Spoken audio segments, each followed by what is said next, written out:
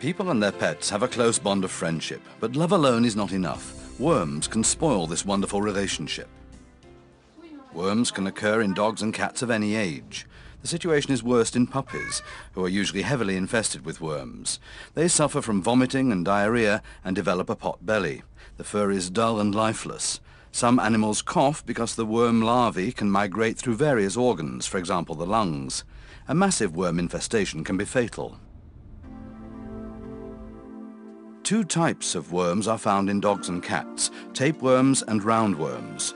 Tapeworms consist of a chain of individual segments which resemble grains of rice called proglottids. They live in the intestine and can reach two meters in length. The segments are excreted in the feces and can sometimes be seen around the anus. Tapeworms are transmitted by fleas. When dogs or cats chew a flea, they can become infected with tapeworms. Mice also transmit worms. Pets that hunt mice are therefore particularly at risk of picking up worms. The second major group of worms with which dogs and cats can be infected are the roundworms. These include the large roundworms, which look like spaghetti and reach about 10 centimeters in length.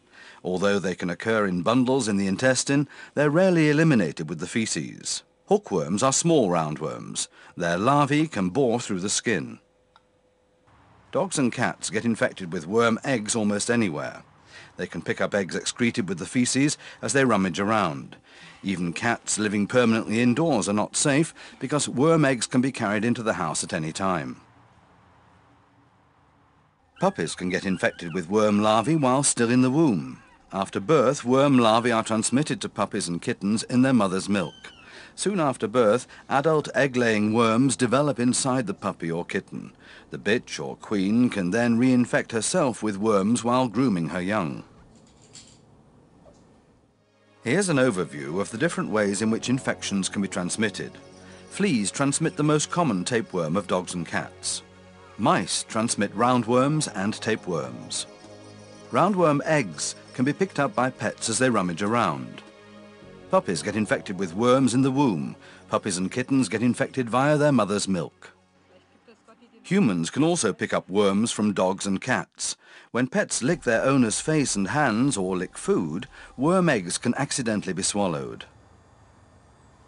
A high risk of infection exists in playgrounds contaminated with dog or cat feces. Worm eggs, which are invisible to the naked eye, can accidentally be swallowed by children. Worm larvae can penetrate bare skin.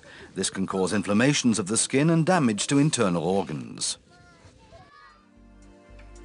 In order to prevent the danger of worm infestation in humans and animals, scientists have developed highly effective medicines which are completely safe even when taken frequently.